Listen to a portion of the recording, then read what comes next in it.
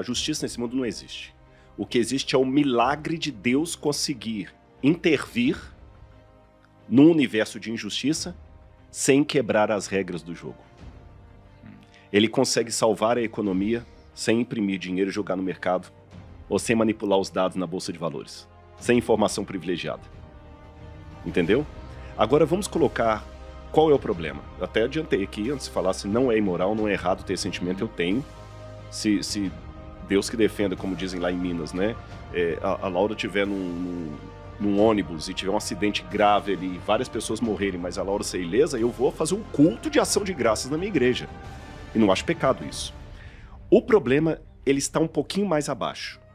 Está mais abaixo em que sentido? É, quando você faz isso, agora eu estou entrando um pouquinho na psicanálise, não é minha área, estou pedindo licença aos especialistas. O inconsciente, ele arma a defesa. Porque o nosso instinto de sobrevivência está sempre atento a qualquer coisa que pode nos atacar. Nos... Nós fomos programados para viver, não para morrer. Por isso que nós temos instinto de defesa, o instinto de sobrevivência. Você não tem instinto de morte. A morte é uma coisa artificial. Você quer viver. Você quer viver. Então, o seu inconsciente, quando ele escuta uma tragédia, ele já faz um cálculo mental, numa fração de nanosegundo, e sabe que você tem o risco de ter aquilo ali também. Eu já andei de helicóptero, você já andar de helicóptero, qualquer um de nós podemos cair. Tá certo? Pior transporte do mundo. É... Eu nunca andei. É, é legalzinho. Não Vou cai per... nessa, não. Eu vou permanecer assim. É... Não, eu já andei, Maio. É. Cara, se ficar nessa aí, você fica, ah, não fumo, não bebo, não faço nada tal, de repente, amigos, você nunca sabe. É, mas assim, qualquer aí, coisa, você pode. Pode não, ser uma eu doença. ando, mas eu acho Pode horrível. ser uma doença. Um dia eu viajei é. com um médico, ele falou comigo no, no, no avião que hoje é, é, dos cânceres que existem no mundo, e o cara era oncologista, ele falou dos cânceres que existem no mundo, 10% são causas de estilo de vida, 10% são hereditários e 80% é loteria. Então eu tô né, dando essa informação aqui agora, o inconsciente de todo mundo que está ouvindo a gente, inclusive de vocês aqui, tá assim, poxa, eu também posso estar nos 80%, então eu posso também ser sorteado e ganhar um câncer. Para você não entrar em pânico, o próprio inconsciente que alerta você daquele perigo, ele te acalma. E ele acalma como? Colocando uma explicação. Ah, eu acabei de pensar nisso. Eu falei assim, meu, tem muita gente no mundo. Exatamente. vai ser... Ele vai te dar uma explicação, mas ele te dá uma explicação para te acalmar, senão você entra em neura. É, na verdade, a máquina do que o criador fez é maravilhosa, né? Pra você não entrar em maluquice. Então ele arruma uma explicação. E a explicação, geralmente, é uma explicação que coloca valor moral, é o que não devemos fazer, no porquê do livramento do Bechmol e do não livramento dos outros. Não é do tipo, ah, porque ele é bonzinho. Porque ele é bonzinho, porque, porque Deus só tinha um livramento para ele, mas não tinha para os outros, porque ele merecia, os outros não mereciam. Mas a gente acaba caindo nisso para livrar a nossa própria pele.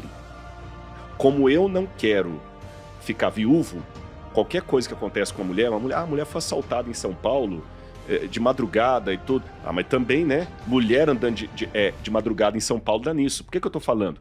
A minha não anda de madrugada em São Paulo. Quando eu falo essa explicação, na verdade eu estou acalmando a minha mente contra o medo da viuvez. Só que na nossa calmaria mental no inconsciente, a gente acaba perdendo o crivo Sim. e extravasa isso em forma de texto, de argumento, de tese. E aí começamos a partir para o julgamento do outro. É o Carl Jaspers que dizia: a gente acaba julgando o outro com o nosso código de valores. Você começa a dar explicações para o sofrimento alheio e soluções para as dificuldades alheias. Como é fácil resolver problema dos outros? Ah, é muito fácil. Né? Você olha e você fala assim, meu.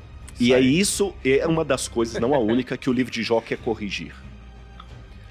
O, a aprovação que você está passando não é necessariamente porque você é um desgraçado. Não, obrigado, eu não quero a aprovação que você está passando não é necessariamente que você é um desgraçado. E a bênção que você está recebendo não é necessariamente que você é o cara. É porque Deus tem um plano maior do que a sua bênção.